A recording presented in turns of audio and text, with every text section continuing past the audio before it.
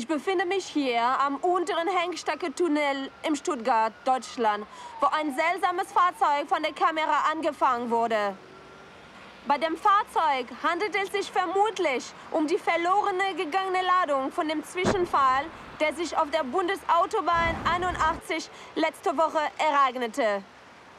Wobei das Merkwürdigste daran lässt sich jedoch erkennen, wenn wir das von der Tunnelkamera aufgenommen Filmmaterial verlangsamen. Bemerken Sie das mysteriöse Licht, welches das Fahrzeug scheinbar verfolgt? Könnte es sich hierbei um das gleiche Licht handeln, durch den der Fracht-LKW letzte Woche abgehoben wurde? Die Art und Weise, wie sich die beiden Zwischenfälle abgespielt haben, gibt Rätsel auf.